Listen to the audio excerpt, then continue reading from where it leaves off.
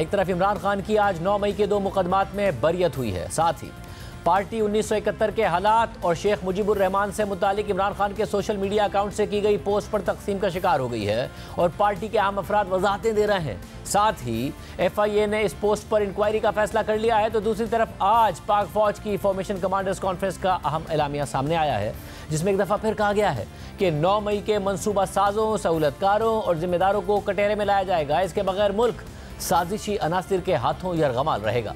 Formation commanders conference कितनी अहमियत रखती है और आज के एलामिया में मजीद क्या कहा गया है? इस हवाले से तफसीत आपके सामने रखेंगे, मगर पहले सुप्रीम कोर्ट में नैब तरामीम केस में इंट्रा कोर्ट अपील की बात करेंगे, जहाँ आज इमरान खान अडियाला जेल से एक दफ़ा फिर वीडियो लिंक के ज़रिए पेश हुए और उनकी चीफ जस्टिस काजी फाइजीसा से बरह रास्त बातचीत हुई, मगर समात आज एक दफ़ा फिर लाइव नहीं दिखाई गई। एक वक्त था कि जब इमरान खान की हुकूमत थी और वजी अजम इमरान खान ने जस्टिस काजी फाइजीसा के खिलाफ रेफरेंस भेजा था और जस्टिस काजी फाइजीसा और उनकी एहलिया ने बतौर साइल इसी अदालत में अपना केस लड़ा था और आज इमरान खान खुद बतौर साइल जस्टिस काजी फाइजीसा की अदालत में पेश हुए। एक वक्त था कि जब जस्टिस काजी फाइजीसा ने अपने केस की समात बरह रास्त दिखाने की इस्तः की थी, मगर इमरान खान की हुकूमत ने अदालत में इसकी मुखालफत की थी और फिर इस्तदा जजेस ने मुस्तरद भी कर दी थी। और आज इमरान खान की तरफ़ से समात लाइव दिखाने की इस्तः की गई। जो जजेस ने चार एक की अक्सरियत से मुस्तरद कर दी। और इस हवाले से कमरा अदालत में बहस भी हुई। एडवोकेट जनरल खैबर पख्तूनख्वा ने कहा कि यह मुकदमा अवामी मफाद और दिलचस्पी का है। जस्टिस अतर ने भी केस बरह रास्त नशर करने की हिमायत की और कहा कि मुकदमा पहले लाइव दिखाया जाता था, अब भी लाइव होना चाहिए। इस मौके पर चीफ जस्टिस काजी फाइजीसा ने रिमांस दिए कि यह एक टेक्निकल केस है। इसमें अवामी मफाद का मामला नहीं है और फिर बेंच मुशावरत के लिए कमरा अदालत से उठकर चला गया और फिर वक्फे के बाद दोबारा समाज शुरू हुई तो पाँच रुकनी बेंच ने। चार एक की अक्सरियत से खैबर पख्तूनख्वा हुकूमत की दरख्वास्त मुस्तरद कर दी। सिर्फ़ जस्टिस अतर मिल्ला ने इस फैसले से इख्तलाफ किया। समात के आखिर में चीफ जस्टिस ने इमरान खान को बरह रास्त मुखातिब करते हुए कहा कि खान साहब, आप खुद दलाइल देना चाहेंगे या ख्वाजा हारिस पर इसार करेंगे? तो इमरान खान ने जवाब दिया कि मैं आधा घंटा दलाइल देना चाहता हूँ। मैं कैद तन्हाई में हूँ। मुझे ना तैयारी के लिए मवाद मिलता है और ना ही बुकला से मुलाकात करने दी जाती है। चीफ जस्टिस ने इस पर कहा कि आपको मवाद भी फराहम किया जाएगा और बुकला से मुलाकात भी होगी? तो इमरान खान ने चीफ जस्टिस से कहा, कि अडियाला जेल में वन विंडो ऑपरेशन है, जिसे कर्नल साहिब कंट्रोल करते हैं। आप उनको ऑर्डर करें कि मुझे कानूनी टीम से मुलाकात करने दें। पहले भी बुकला से मिलना चाहता था, लेकिन मुमकिन नहीं हुआ। आप बुकला से मेरी मुलाकातों का हुक्म जारी करें। तो चीफ जस्टिस काजी फाइजा ने जवाब दिया कि आपके सामने ही हुक्मनामा लिखवाएँगे। अगर आप कानूनी टीम की खिदमत लेंगे तो फिर आपको नहीं सुना जाएगा। तो इमरान खान ने कहा कि ख्वाजा हारिस और एक दो और बुकला से मिलना चाहता हूँ। इसके बाद चीफ जस्टिस ने हुक्म दिया कि इमरान खान से ख्वाजा हारिस जब मिलना चाहें, मिल सकते हैं। इमरान खान को मुकदमे का तमाम रिकॉर्ड फराम किया जाए। पचास लोग साथ लेकर ना जाएँ। एक दो वकील जब चाहें, इमरान खान से मिल सकते हैं। दौरान समात इमरान खान ने चीफ जस्टिस से मजीद कहा कि आपसे बात करने का मौका शायद दोबारा ना मिले। आठ फरवरी और इंसानी हकूक की पामालियों पर मेरी दो दरख्वास्तें जेर अल्तवा हैं। तो चीफ जस्टिस ने उनसे पूछा कि आपके वकील कौन हैं इन केसेस में? तो इमरान खान ने जवाब दिया कि हामिद खान मेरे वकील हैं। तो इस पर चीफ जस्टिस ने रिमार्क दिए कि हामिद खान को मालूम है कि केसेस कैसे जल्द मुकर्र कराए जाते हैं।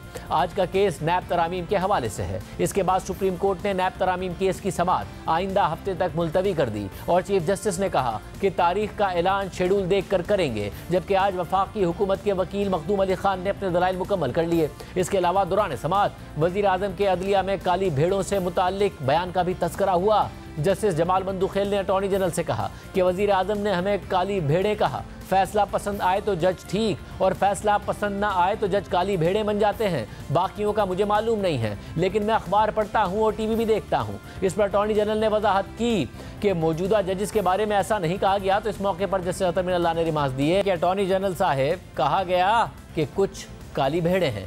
We are not black sheep we are black bumble bees इस पर वज़ीर आज़म को वैसे शक का फ़ायदा दिया जा सकता है। अटॉर्नी जनरल वज़ीर आज़म को कहें कि जो गाली बेड़े हैं, उनके खिलाफ रेफरेंस दायर करें। एक तरफ़ आज इमरान खान सुप्रीम कोर्ट में पेश हुए, साथ ही उन्हें इस्लामाबाद की मकामी अदालत से नौ मई की दो मुकदमात में जमानत मिली है।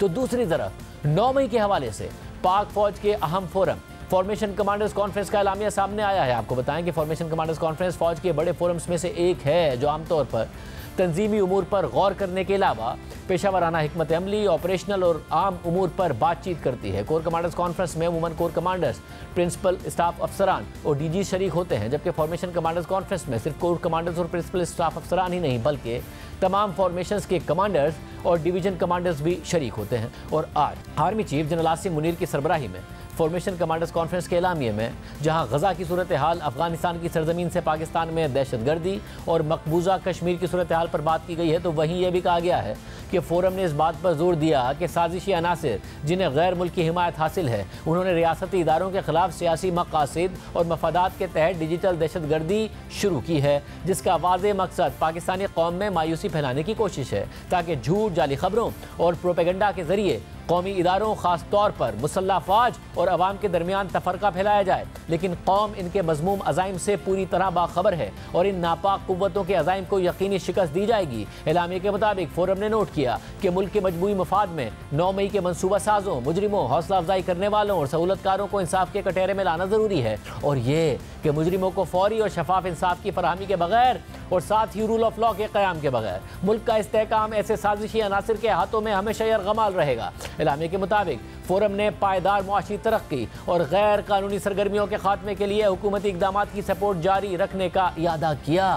पाक फौज के आम फोरम की तरफ़ से एलामिया सामने आया है, जिसमें 9 मई और सोशल मीडिया पर फौज मुखालिफ मुहिम के हवाले से सख्त पैगाम दिया गया है, जबकि इमरान खान के सोशल मीडिया अकाउंट से मौजूदा हालात का उन्नीस सौ इकहत्तर के हालात और शेख मुजीबुर रहमान से मवाजना किए जाने पर आज हुकूमत भी हरकत में आ गई है।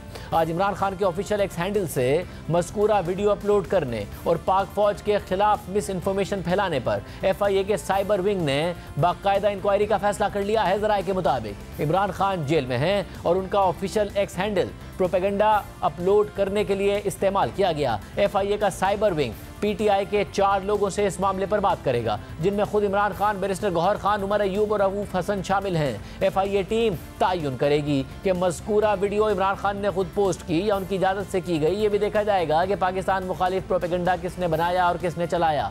अकाउंट होल्डर की तरफ़ से ऐसा किया गया है तो उनके खिलाफ कानूनी कार्रवाई की जाएगी। लेकिन अगर अकाउंट होल्डर ने पोस्ट नहीं किया तो उन्हें अपना एक्स अकाउंट गैर कानूनी इस्तेमाल होने पर बंद करने की दरख्वास्त देना होगी, सिर्फ़ यही नहीं। इमरान खान की एक्स हैंडल से की गई इस पोस्ट के बाद खुद तहरीक इंसाफ भी बैकफुट पर जाती नज़र आ रही है और पार्टी में दो इख्तलाफी राय सामने आ रही हैं। पहले party chairman barrister Gohar Khan ने इमरान खान को इस पोस्ट से दूर रखने की कोशिश करते हुए वजाती बयान में कहा कि इमरान खान जेल में है तो वो उनके अकाउंट से की गई हर पोस्ट का हर लफ्ज़ नहीं देख सकते और ये पोस्ट सियासी तनाजुर में की गई थी, जबकि इस हवाले से पी टी आई में इख्तलाफ राय से मुतल बी बी सी में खबर शाया हुई है। बी बी सी से बात करते हुए पार्टी के सीनियर रहनुमा अली मोहम्मद खान ने कहा है कि इमरान खान जेल में कैद हैं और पार्टी की जानब से पॉलिसी बयान सिर्फ़ चेयरमैन बैरिस्टर गौहर खान, उमर अयूब और इमरान खान के chief of staff Shibli Faraz दे सकते हैं। बैरिस्टर गौर खान ने जो बात की है, वो बिल्कुल सही है कि ये एक सियासी तनाजुर में की गई बात थी, जिसका मकसद ये समझाना था कि अवाम की जानब से मिलने वाले मैंडेट की इज़्ज़त की जाए। बीबीसी के सवाल के जवाब में अली मोहम्मद खान ने कहा कि बाकी कुछ चीज़ें जो इस वीडियो में मुसल्ह अफवाज के बारे में थी, उन्हें मैं नामुनासिब ही कहूँगा। पाकिस्तान में शेख मुजीबुर रहमान एक नापसंदीदा शख्सियत है और मेरे ख्याल में उनका मवाजना इमरान खान से करना इमरान खान के साथ ज्यादती है, क्योंकि इमरान खान एक मुहब वतन पाकिस्तानी है। अली मोहम्मद खान ने मजीद कहा कि इमरान खान इस वक्त जेल में है। जब तक वो अपने मुँह से कोई बात नहीं करते या उनकी बात चेयरमैन बैरिस्टर गौहर खान नहीं करते तो तब तक इसकी हकीकत पर सवालिया निशान उठ सकते हैं। बीबीसी के मुताबिक पीटीआई की सोशल मीडिया टीम के अफराद पार्टी क्यादत के बयान से इतफाक नहीं करते। हमारे साथ मौजूद हैं वजी अजम के मुशीर और नून लीग के सीनियर रहनुमा राना सनाउल्ला साहब। मगर पहले बात करेंगे नैब तरामीम केस में। सुप्रीम कोर्ट में होने वाली समात की, जहाँ वीडियो लिंक पर इमरान खान साहब पेश हुए। आज आमना सामना हुआ चीफ जस्टिस का और इमरान खान का। क्या माहौल था? क्या बातें हुई?